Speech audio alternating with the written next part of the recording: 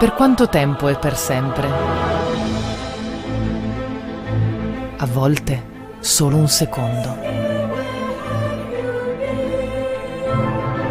Finalmente essa immaginò come sarebbe stata la sorellina già cresciuta e diventata donna. Alice avrebbe conservato nei suoi anni maturi il cuore affettuoso e semplice dell'infanzia. E avrebbe raccolto intorno a sé altre fanciulle e avrebbe fatto loro risplendere gli occhi, beandole con molte strane storielle.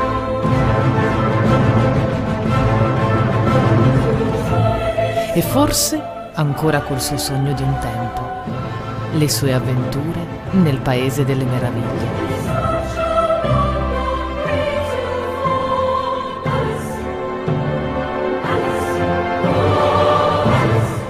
Con quanta tenerezza avrebbe ella stessa partecipato alle loro innocenti afflizioni e con quanta gioia alle loro gioie.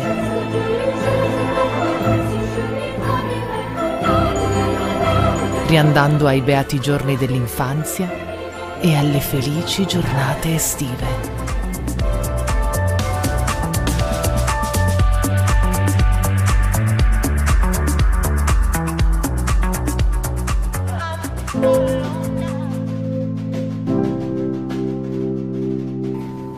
Simona, Giorgio Casu, eh, siamo mh, abituati e abituate ad ammirarlo eh, grazie ai suoi murales. Eh, San Gavino lo, lo, lo, porta come nome importante e portante di questa ehm, cittadina, però tu come sempre qui all'Exma sei riuscita invece a dar vita ad una personale, ad un'antologica che lo sposta in una dimensione assolutamente nuova per noi.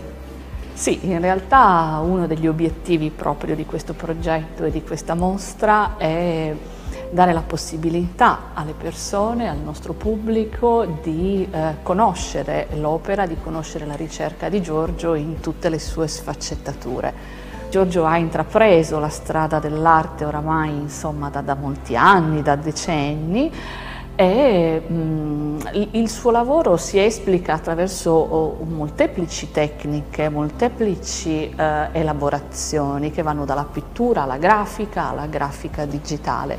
Anzi possiamo dire che lui nasce propriamente come pittore da cavalletto, si sarebbe detto un sì. tempo, per poi invece estendere il, il suo lavoro appunto anche in una maniera molto organica, molto armonica uh, su altre superfici fino alla dimensione monumentale del muro. Molte delle opere esposte all'Exma appunto in, in, anteprima sul territorio regionale sul territorio nazionale in realtà sono state precedentemente esposte nelle gallerie eh, statunitensi, in particolare in uh, gallerie newyorkesi anche nell'ambito di progetti molto, molto autorevoli e molto prestigiosi.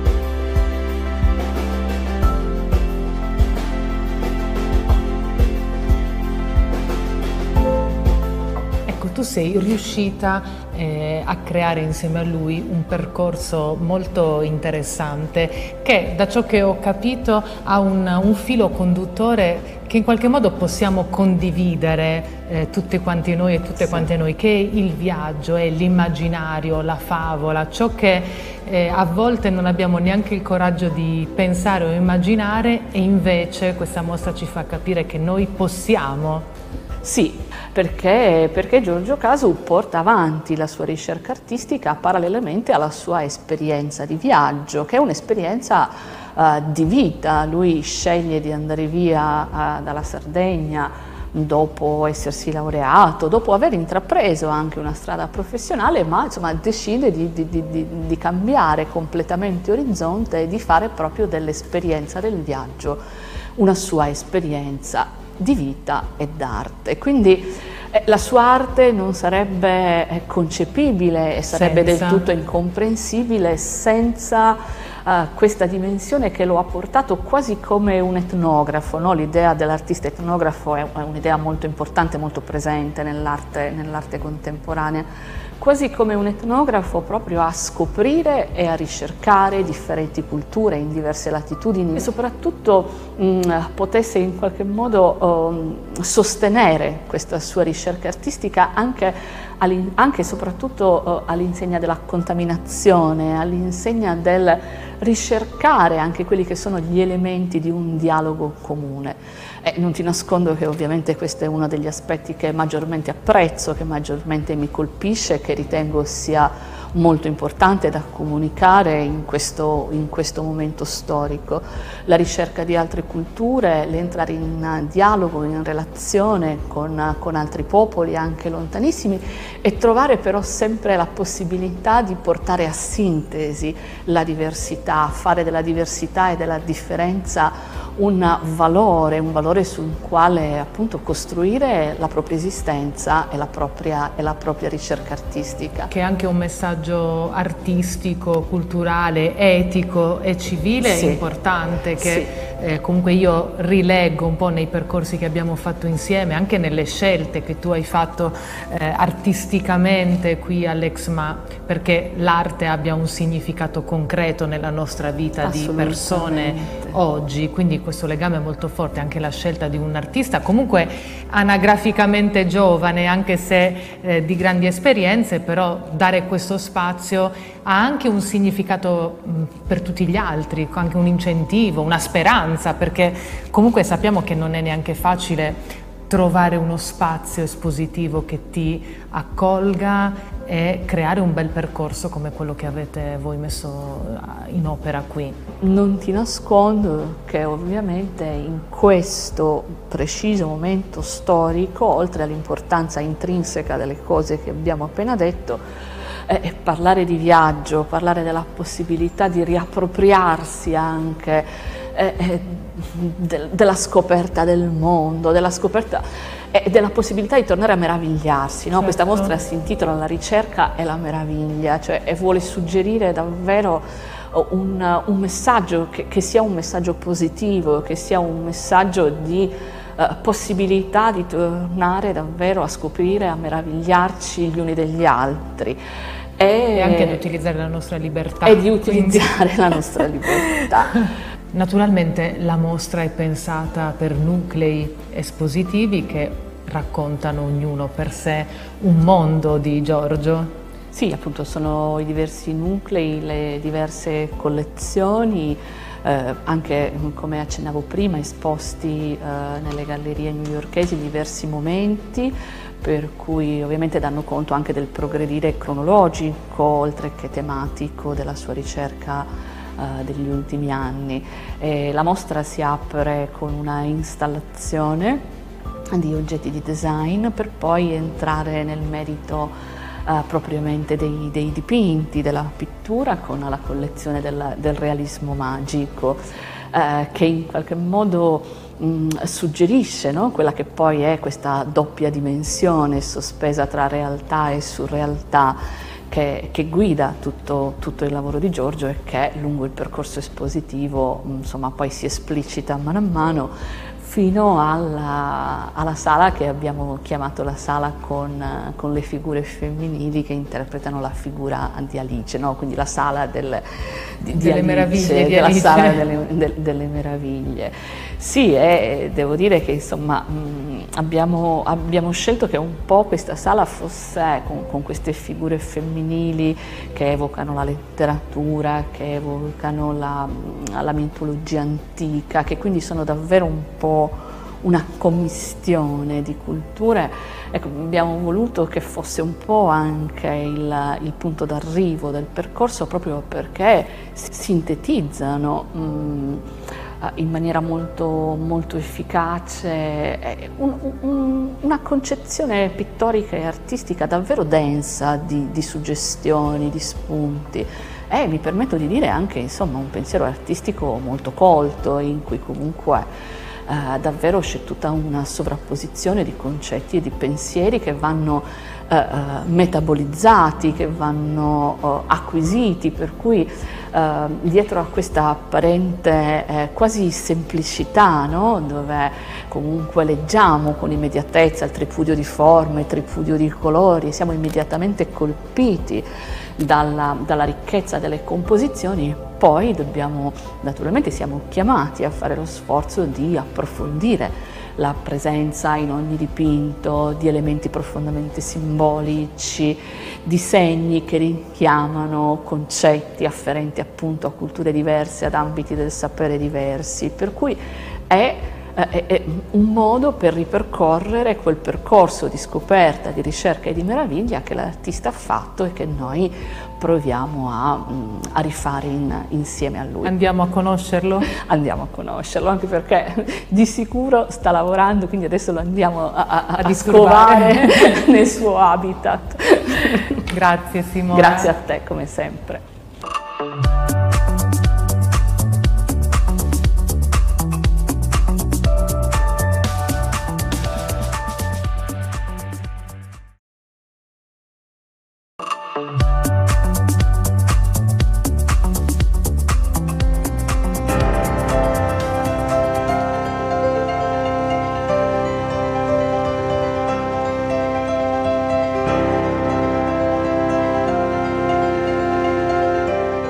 Ma io non voglio andare in mezzo ai matti, si lamentò Alice.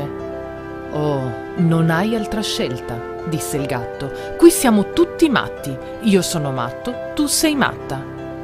Come lo sai che sono matta? disse Alice.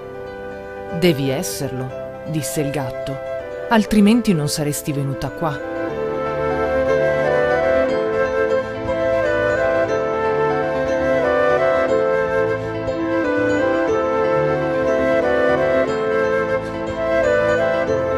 Ma allora, disse Alice, se il mondo non ha assolutamente alcun senso, chi ci impedisce di inventarne uno? Il segreto, cara Alice, è circondarsi di persone che ti facciano sorridere il cuore. E allora, solo allora, che troverai il paese delle meraviglie.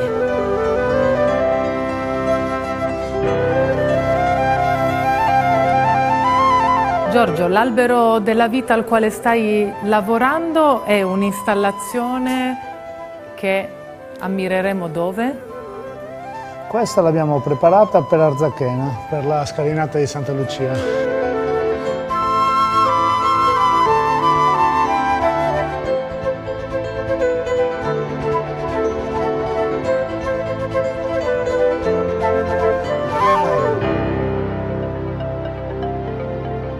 Sono stato fortunatissimo perché l'ex-MA mi ha donato questo studio atelier che siamo a Fantasilandia, per me eh è uno sì. degli studi più belli di sempre. Ecco, questo tema che ti accompagna oramai eh, da tempo è un po' croce e delizia, quello dell'albero della vita? Me lo stanno chiedendo in tanti e qualunque cosa io proponga, anche se sono delle proposte molto variopinte o cerco di inserire altri design, ultimamente mi chiedono solo l'albero della vita. Quindi per me è un po' quella canzone che chiedono sempre a, al cantante, anche quando, certo. non, anche quando Alla pensa... fine del concerto c'è sempre il eh, classico. Anche all'inizio, eh, sì, sì, sì.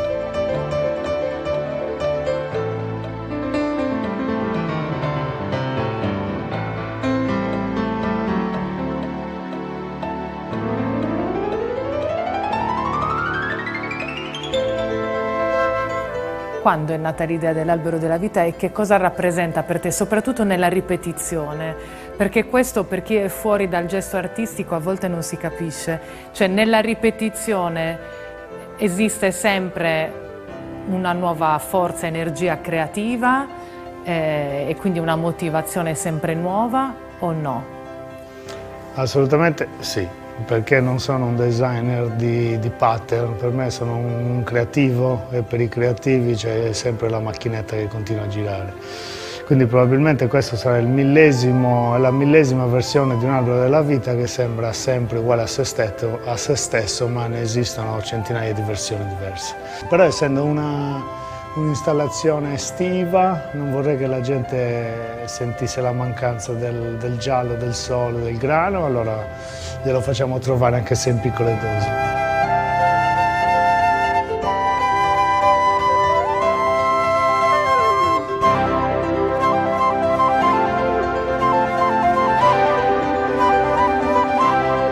Mi hai fatto venire in mente che un altro albero della vita che ho seguito tramite i social è quello che hai realizzato a San Gavino per onorare Faustino Onnis, che è un poeta eh, che ritorna anche grazie a te a, San Gavino e quindi hai unito la tua arte con, eh, con, la poesia e con un poeta molto interessante che stiamo valorizzando anche grazie all'operato della figlia in questo periodo veramente con forza?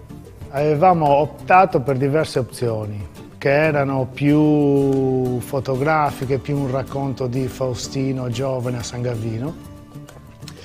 E invece poi alla fine con Luciano, appunto con la figlia, abbiamo deciso di cambiare il gioco e, e scegliere di rappresentare mm, quello che lui ha rappresentato, quello che voleva rappresentare la sua vita con un albero della vita e poi tutto attorno abbiamo messo una, una, una poesia uh, bellissima che secondo me era dedicata a sua figlia e siccome sono diventato padre da quattro mesi mi sembrava l'occasione giusta per dedicarla io alla mia.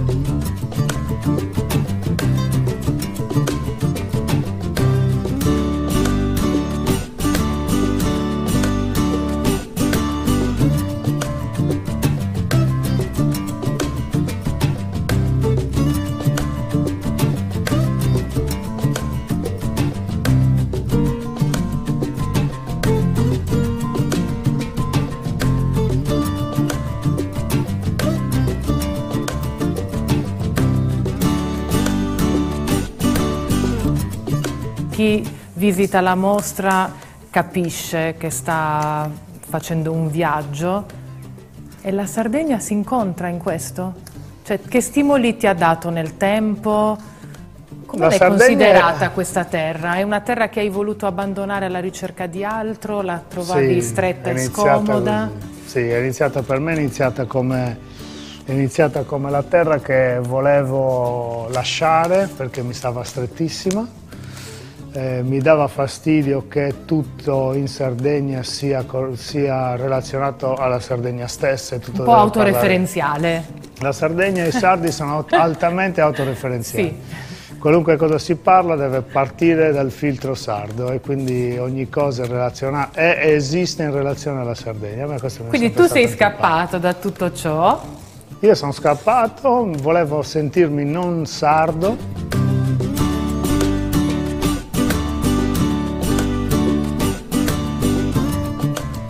Mi ricordo questa sensazione, volevo sentirmi cittadino del mondo, libero di girare e non sentirmi un sardo che è partito fuori, un sardo immigrato. Continuavo a tornare ogni estate in Sardegna e ogni anno sentivo che non mi bastava, volevo sempre di più, anche perché per me è sempre stata una pausa rigenerativa, perché nei viaggi davo tutta l'energia che avevo per, uh, per, dipingere, per creare, per, insomma, per uh, per fare quello che volevo fare, però poi il ritorno in Sardegna per me era estremamente rigenerativo.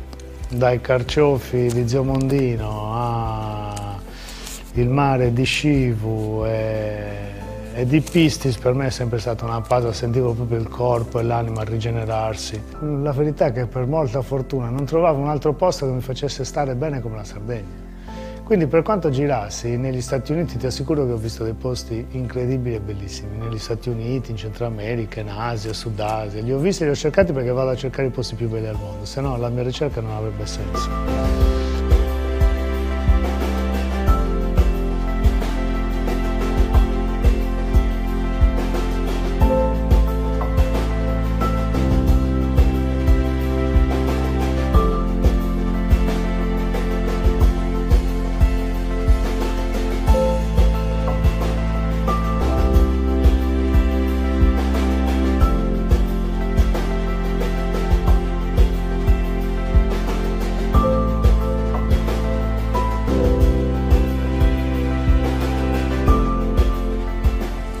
Sapevo che prima o poi avrei voluto bamb un bambino, una bambina, una famiglia.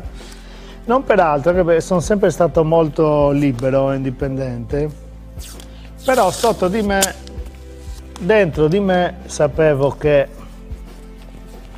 la bellezza di avere una famiglia, di un bambino e una bambina, ha sempre rappresentato per tutti quanti un passaggio importante. E non volevo, io sono sicuro che è sempre meglio pentirsi di quello che si è fatto che di quello che non si è fatto. Perché quando ti penti di qualcosa che non è fatto ti rimane la mano in bocca e non hai neanche modo di spiegarlo, di rappresentarlo. Io certo. non, mi voglio, non mi volevo pentire di, di essermi perso uno, di, uno dei, dei, piaceri, una delle condizioni che gli amici che conosco, le persone che ho sentito parlare in giro per il mondo mi raccontavano cosa, come una delle cose più belle che hanno mai provato nella loro vita.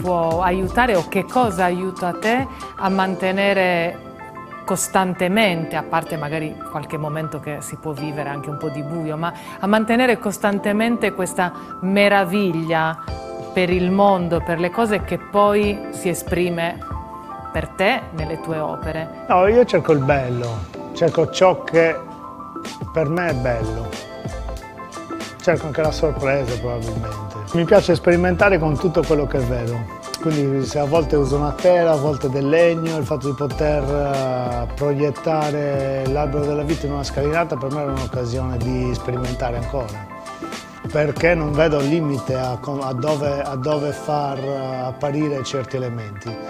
E quindi ho la fortuna di sperimentare questo pattern e lo faccio esistere, a parte per il messaggio che ha in sé, che è un messaggio di, di famiglia, di crescita.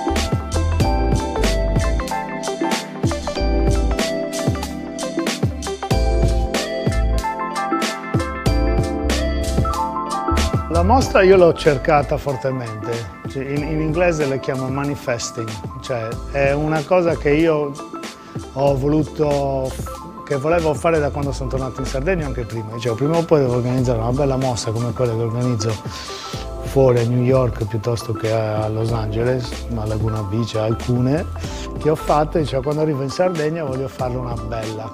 Quindi l'ho già preparata prima, cioè, le cose succedono quando ti prepari, quando sei pronto ad accogliere il momento in cui si presenta la, la, la possibilità di fare. Quindi ho fatto arrivare tutte le opere che avevo negli Stati Uniti, in Sardegna, e lì devo dire che Simone è stata bravissima perché gli ho fatto vedere una, un range di opere molto vasto e lei è stata molto brava a chiudere il campo e poi piano piano mentre la portavamo avanti a creare un percorso estremamente coerente, che non era facile. Eh no, infatti.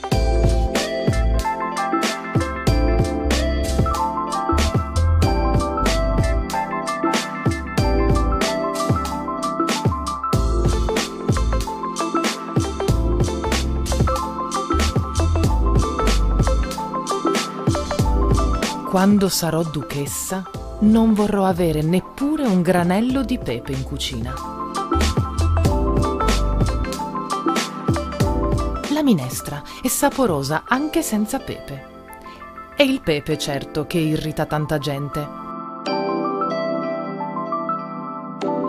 L'aceto la inacidisce, la camomilla la fa amara e i confetti e i pasticcini addolciscono il carattere dei bambini. Se tutti lo sapessero, non lesinerebbero tanto in fatto di dolci.